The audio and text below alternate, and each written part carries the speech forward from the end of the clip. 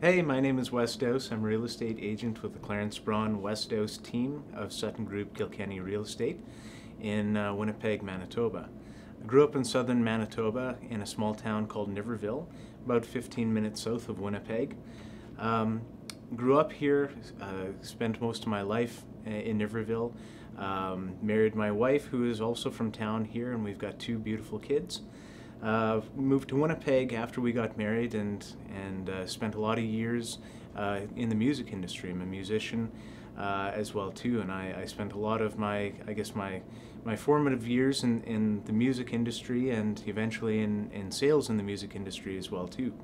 Real estate is a good fit for me uh, because I, I have a real passion for, for working with people.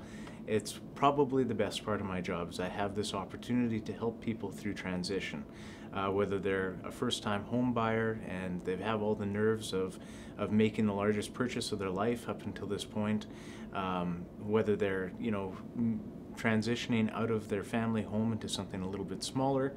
Uh, there's always a whole pile of details that's involved with these transactions, and helping people through it is probably one of the most gratifying things. Uh, when you move a family from a smaller residence into, uh, you know, a larger home that suits their growing family, there's just something amazing about uh, just kind of the feeling that they have and, and that I have about helping them make it happen.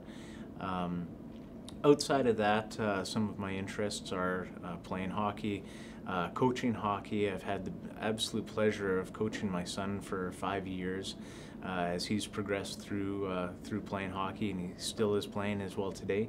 Uh, I'm a musician, grew up in the music industry, and grew up trying to be a rock star, and still enjoy playing music today as well too.